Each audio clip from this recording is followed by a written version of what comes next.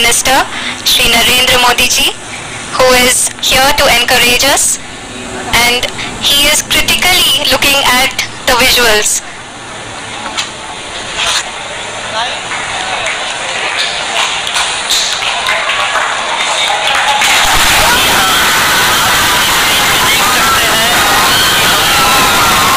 are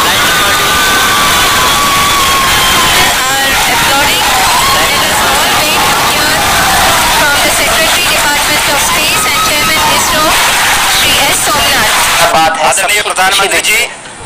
नमस्कार sir we have achieved soft landing on the moon India is on the moon